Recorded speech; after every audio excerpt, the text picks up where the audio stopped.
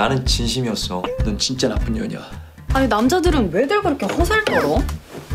남자 하기 나름이라고 생각해. 진짜 착각하지 말라고 전해줄래? 여자들한테 속으면 안 돼.